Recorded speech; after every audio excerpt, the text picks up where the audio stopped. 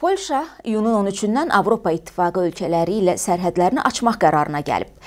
Digər ölkələrlə sərhədlər koronavirus pandemiyası ilə əlaqədar hələ ki bağlı qalacaq. Həmçinin iyunun 16-sında Polşa müntəzəm beynəlxalq aviadaşımaları bərpa etmək istəyir. Polşadan daha hansı xəbərlər var? Orada pandemiya ilə mübarizə necə aparılır? Bu ölkədəki Azərbaycanlıların vəziyyəti necədir? Bu haqda Azərbaycanın Polşadakı səfiri Həsən Həsənovla söhbət edəcəyik. Salam Həsən müəllim, hər vaxtınız xeyir. Salam. Koronavirusla bağlı indi Polşada vəziyyət necədir? Ümumiyyətlə stabil idi, amma son təxminən bir həftə olar artmağa doğru getdi xəstələrin sayı. Amma dünəndən başlayaraq yenə də əvvəlki rəqəmə düşübdür. Yəni artım dayanıbdır, stabil rəqəmdədir. Bəs o artım nə ilə əlaqədar idi? O əlaqədar idi Sileziya vilayətində yaranmış vəziyyətlə. Orada kömür şaxtaları var. Şaxta şaxtaçılar arasında virus düşmüşdü. Vaxtında bunu müəyyənləşdirə bilməmişdilər və bu virus yayılmışdı və e, artım ancaq bir vilayətin hesabına gedirdi. Polşanın o birisi vilayətlərində rəqəm olduğu kimi qalmışdı. Amma indi orada da müəyyən tədbirlər gördülər və orada da artım o qədər də çox deyil. Həsən müəllim, Polşada digər Avropa dövlətləri kimi martın ortalarında pandemiya ilə mübarizə məqsədi ilə sərt tədbirlər gördü. Hətta Polşada koronavirusla mübarizəyə dair ayrıca qanun da qəbul olunub. Bu qanun nələri nəzərdə tutur? Bir neçə qanun qəbul elədilər bunlar. Birinci qanun siz deyən qanunda, amma sonradan da qəbul edildi. Son günlərdə yenə də qanun qəbul etməkdə davam edirlər. Hamısı ancaq daha çox, daha çox söhbət maliyyə məsələlərinin həllindən gedir. Ki, hansı məsələlər necə maliyyələşməlidir, e, şirkətlər, ziyanla işləyən şirkətlərə necə yardım göstərilməlidir, e, sonra e, o tədbirlərin özü nədən ibarət olmalıdır. O xırda məsələlər qanunda əks olunmur. Ümumiyyətlə, həm qanun, e, həm də görülən digər tədbirlər virusun yayılmasına necə təsir göstərdi? Yəni, mübarizədə effektini verdimi? Məsələ bundan ibarət ki, Polşa başqa Avropa ölkələrinə nisbətən daha stabil vəziyyət Polşada. Yəni, 1 milyon əhaliyə olan xəstələrin sayına görə, ölənlərin sayına görə e, Polşa ən müsbət ölkələrin sırasındadır. Polşa tətbiq olunan məhdudiyyətlərin yumşaldılmasının artıq dördüncü mərhələsindədir. Nəinki maska taxmaq məcburiyyəti ləğv edilib, hətta 150 nəfərlik toylara da icazə verilib, NATO-nun ölkədə təlimi keçirilir. Yoluxmanın yenidən artması həftənin əvvəlində qaydaları sərtləşdirə bilərmi? Düşünmürəm ki, sərtləşdirsin. Amma onu qeyd edə bilərəm ki, bunlarda toy elə 150 nəfərdən ibarətdir. Yəni bunlarda 300, 400, 500, 600 nəfərlik toy olmur. Bunların toyların məhdudu o, rəqəmdir. NATO-da çoxdandan qərar qəbul olunmuşdu və böyük hazırlıq iş aparılmışdı. Onun üçün də onu dayandırmadılar və e, əhali kütləsindən aralı bir e, yerdə keçirilir o tədbir.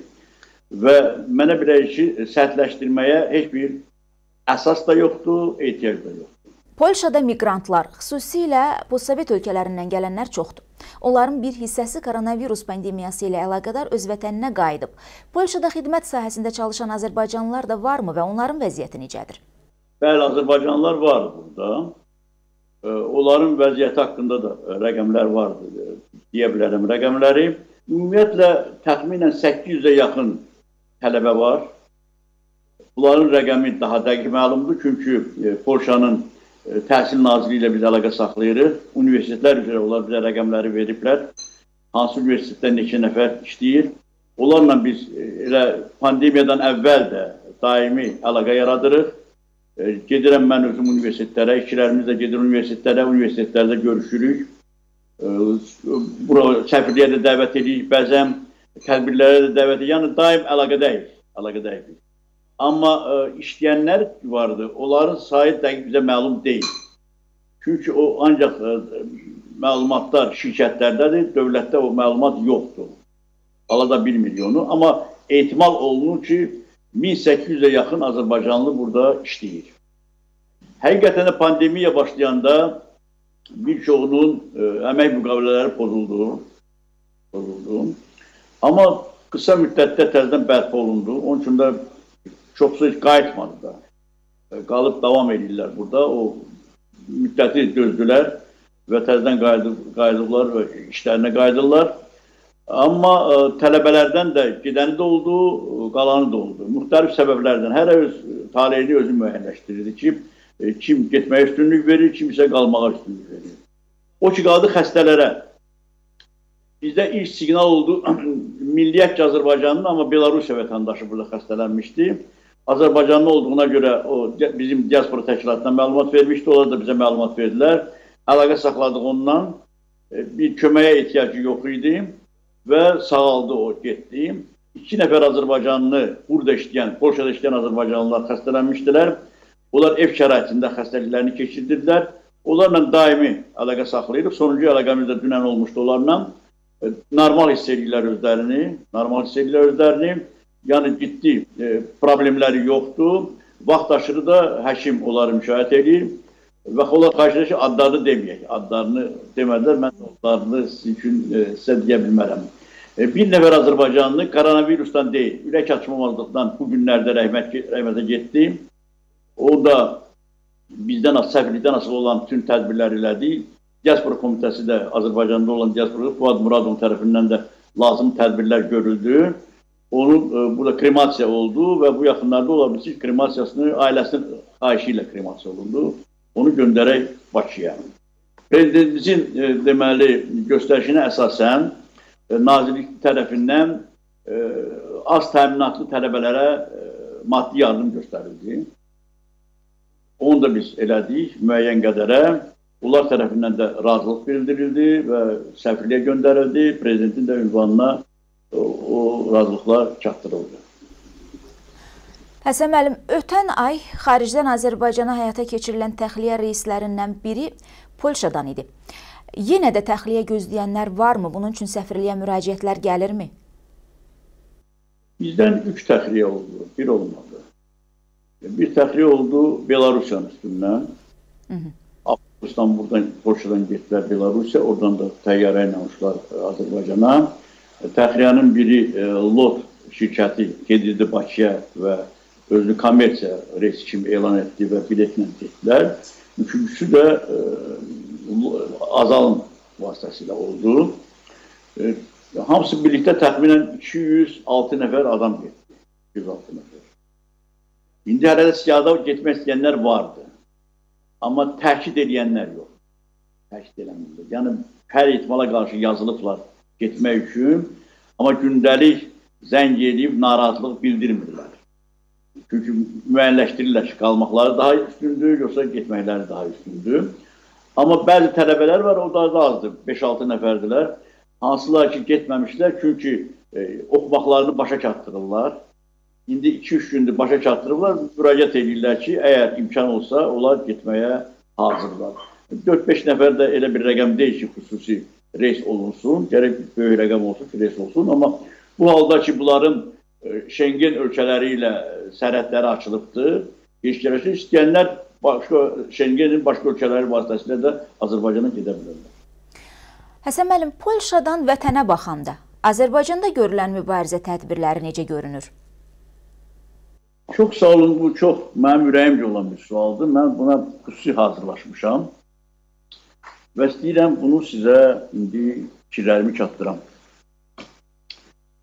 Prezidentimiz cənab İlham Əliyevin gördüyü işlər, tədbirlər təqdirə layiqdir. Azərbaycanda bu sahədə görülən işlər bir çox hallarda təkrarsızdır. Dörd mövqe üzrə mən indi müqayisə aparmaq fikrindəyəm. Bir məsələ ödəniş məsələsi.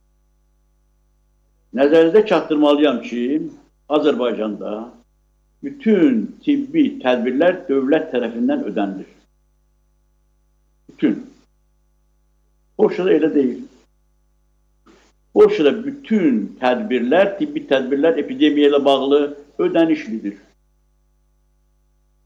Əmması da ondan ibarət ki, sığortalı olanların pulunu sığorta şirkətlər ödəyir, sığorta olmayanlar isə özləri öz ciblərindən ödəyirlər. Bir dənə bu fərqi əhalimiz bilməlidir. İkinci, karantin məsələsi. Bizdə karantin mərkəzləşdirilibdir. karantin şəraitində bütün məsələlərin xərci dövlət tərəfindən görülür və karantində qalanlar daimi həkim nəzarət altındadırlar. Polşada elə deyil. Mərkəzləşmiş karantin nöqtələri burada yoxdur. Hər şəxs karantini öz evində keçirir. Və polis tərəfindən buna nəzarət olunur. Hı -hı. Hətta bizim bir diplomat olmayan işçimiz Novruz bayramına gitmişti. Qaydanda onu karantina saldılar burada. Qaydanda artıq burada başlamışdı. O karantina saldılar. 14 gün evdə qalmalısan. Və o söylədiyini deyirəm. Sən necədir qayda? Buna gündə bir neçə dəfə polis zəng edir. Telefonuna xüsusi proqram qoyulmuşdu. Bu evdən çıxsaydı, telefonu o proqramla polis idarəsinə siqnal verirdi ki, bu adam evindən çıxıbdır. Bu telefonuna vaxtında cavab vermədisə əgər polisin zənginə, polis bunu məcbur edir ki, otağın hansısa bir küngündə dursun, fotosunu kəsin, göndərsin bunu ki, onlar ümidli olsunlar ki, bəs bu evindədir. Qarantini pozanlar isə öz ciblərindən bizim pulla desək 13 min manat gəlmə ödəməlidirlər. Bu halda ki, Azərbaycanda karantində olanların bütün xərcləri, qalma xərcləri, həkim nəzarət xərci, hətta yemək e, xərcləri hökumət tərəfindən ödənilir. Burada nəinki hökumət ödəmir, hətta hökumət hər karantini pozanıyla 13 min manat gərmə alır. Karantin məsələsi. Xəstəxanalar məsələsi. Dünyada xüsusi olaraq bu məqsədlə xəstəxana tikən dövlət bir, iki olar olmaz. Amma Azərbaycanda bir neçə sayda xüsusi bu məqsədlə yönəlmiş xəstəxanalar tikilibdir. Sileziya bunların o şaxta olan vilayətdə niyə böhrana düşdü? O rəqəmə hazır olmadılar. Yeni xəstəxanaları yox idi. Köynələr də bu məqsədə yönətmək üçün müəyyən bir vaxt tələb elədi və onun üçün də xəstələrin sayı bir, bir dəfəyə artdı. Dördüncü məsələ və o da bizim ki, ən vacib məsələlərdən biri yumşalma ideyasıdır. Burada proses daha dinamikdir. Yəni tez-tez yumşalma qərarları qəbul edilər və demək olar ki, bugün üçün bir qadağada olan bir problem qalmışdır. Ona görə ki, burada əhalinin böyük hissəsindən qaydalara riayət etmək məsuliyyəti daha yüksək. Yumuşalmada 4 amili misal gətirək. 2 metrə sosial məsafə. Bu 2, 2 metrə sosial məsafə istər küçədə, istər qapalı yerdə, istər restoranda, istər nəqliyyatda avtomatik olaraq qorunur dövlət tərəfindən buna heç bir xüsusi göstəriş yoxdur. İnsanları şuuru nəticəsində buna nail olunur. Dünənləri səfirin bir işçisi adi növbəti ərzaq üçün getmişdi, ailəsinə ərzaq almaq üçün. Söyləyir mənə necə idi vəziyyət. Böyük bir supermarket vardı. Oradan bu ərzaqını alıb, daim oradan aldığına görə yenə də ora gedirdi. Böyle moldu. Mol birinci mərtəbəsində də ərzaq mağazasıdır. Moldan aralı təxminən yarım kilometrdə növbə durubdur. Niyə yarım kilometrdə? İki səbəbi var. Birinci səbəb. Növbənin özü 2 metrə aralıqla durubdur. Və hər növbəyə gələn yeni adam soruşmur ki, harada dursun, qavağı qaçmır. Sonuncunu görür, özü avtomatik olarak ondan iki metre aralı durur. Hiçbir bunu mecbur edemez. Bunun hiç bir karar yoktu. Polis de buna nezaret edemiyor. İki metre aralı durur. Ve onun dediği, işimizin dediğine göre 36 dakika bu kölde növbədə durdu. Mağaza böyükdür. Ama orada, orada da daxildə qərar qəbul ki, 15 nəfərdən çox olmamalıdır. İçəridə də o 2 metrə aralığı saxlayırlar. Qapıda bir nəfər durubdu, hesab aparır ki, içəridən ki, bir nəfər çıxırsa bir nəfər buraxır, iki nəfər çıxırsa iki nəfər buraxır. Maska taxmaq, maska taxmaq göstəriş şəklində sıfıra inir. Ancaq qapalı yerlərdə maska taxmaq məcburidir. Şuşədə məcburi deyil. Amma mən maşınla işə gedəndə görürəm ki, Şuşədə piyada gedənlərin yarısından çoxu maska ilə gəzir. Qadağa götürülübdür. Şərt qoyulmuş ki, maska gəzdirməlisən. Bunu özləri gəzdirirlər. Heç kim də məcbur eləmir bunları. Amma əhalinin əksər hissəsi Şuşədə, piyada gedəndə maska ilə gedirlər. Həmçin ərcək. Bu bir günlük şəhərə çıxırsa, özündən 3-4 dənə ərcək aparır. Hesab edir ki, əlcəyin birinə ola bilər hardasa, nəyəsə toxunandan sonra virus düşə bilər. Əlcəyi tez tulluyur, harasa yenisini geyinir. Bütün qapalı yerlərin qapısında əlcək və dezinfeksiya var. Bu da məcburidir. İndi keçək tarixə. Mən bu kitabı sizə göstərirəm. Bu Əlmərdan bəy Topçubaşevin əsərlərinin birincilidir. Bu əsərləri mən uzun illər toplamışam və hörmətli prezidentimiz İlham Əliyevin e, qərarı ilə bu nəşr olunubdur. Nəşr olunub. Birinci cilddə Topçubaşovun jurnalistika fəaliyyəti əks olunur. Jurnalistika fəaliyyətində burada bir müddət Topçubaşov Kaski qəzetinin redaktoru idi, işləyirdi. 1904-cü ilin sentyabr ayında yəqin dinləyənlərin əksəriyyəti bunu bilmir. Bakıda xolera xəstəliyi e, inkişaf eləmişdi. Topçubaşov həm Kask qəzetinin redaktoru idi o dövrdə, həm də şəhər dumasında üzvü idi. O hər gün Kask qəzetində öz tövsiyələrini yazırdı. Həkimlərə tövsiyə, polisə tövsiyə, din xadimlərinə tövsiyə, ölüləri bastırmağa tövsiyə, və məqalələrinin birini göstərirəm sizə. Rus dilində adlanır Отношение населения əhalinin bu epidemiyaya münasibəti. Həmin məqalədən üç abzası oxumaq istəyirəm. 120 il bundan əvvəl Topçubaşovun yazdığı fikirlərdir. Birinci, hər hansı bir epidemiyaya qarşı mübarizə həkimlərin sağlama və sanitariya ilə bağlı fəaliyyətinin səmərəliliyi nədən asılıdır? Cavab verin. Əhalinin bütün tədbirlərdən irəli gələn nizam, intizam işlərinə münasibətindən.